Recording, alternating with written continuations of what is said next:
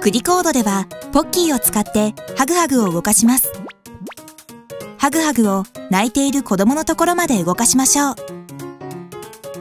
ハグハグはポッキーのチョコレートがついている方向に進みます。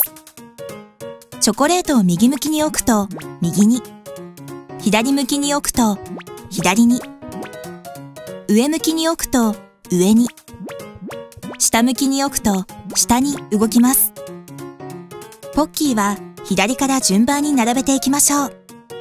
例えば左から順番に右、右、上とポッキーを並べるとハグハグも右、右、上と動きます。